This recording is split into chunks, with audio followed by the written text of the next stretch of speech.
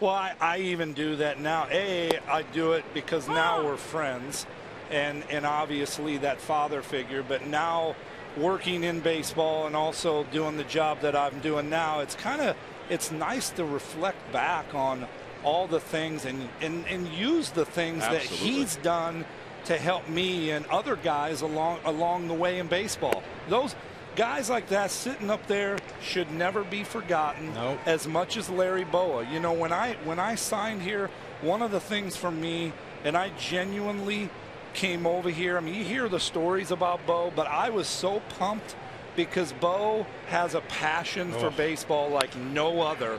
And I, I really believe this, Crucky. He brought the best out of, of out of a lot of guys that came through the Philadelphia Absolutely. system, no doubt. Without without question.